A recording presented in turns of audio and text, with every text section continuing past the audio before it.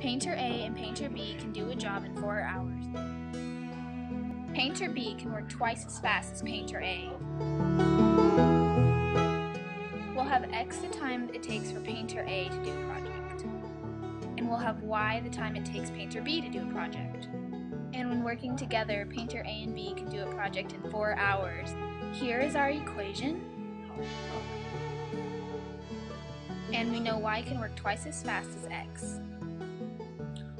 So let's plug in y and do the problem.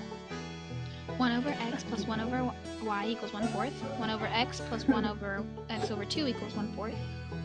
1 over x plus 2 over x equals 1 fourth. 3 over x equals 1 fourth. Cross multiply, x equals 12.